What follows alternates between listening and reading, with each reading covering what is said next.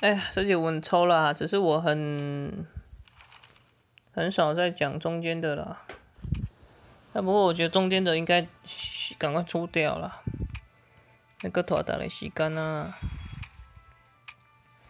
那因为是大作手游，基本上我们都会续集哦，都会续集。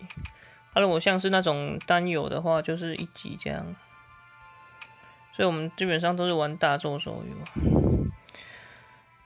等级战力都讲了嘛，别人图也讲了，魂测呢，竞技场，竞技场。那经常第一名玩家，哎，经常第一名玩家也是 J。那 J 的玩家，我们来分享一下他的他的这个阵容啊。那他的阵容有这个本人哈，然后再来是他现在已经有这个增长天了。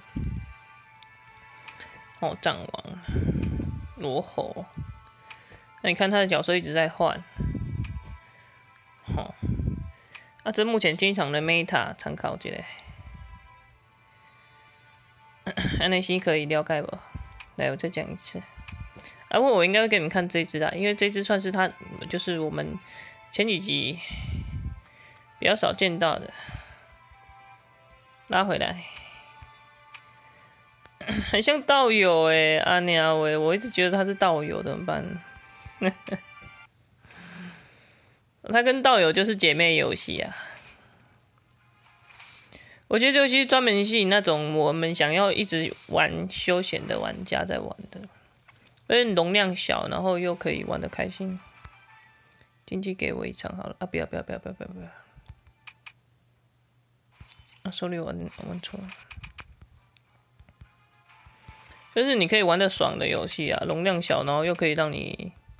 短短的时间开心一下，这样，你们懂意思吗？就是，对啊，就是可以让你花少时间，然后又可以感受到那种好玩的感觉。然后呢，今天也是到这里吧。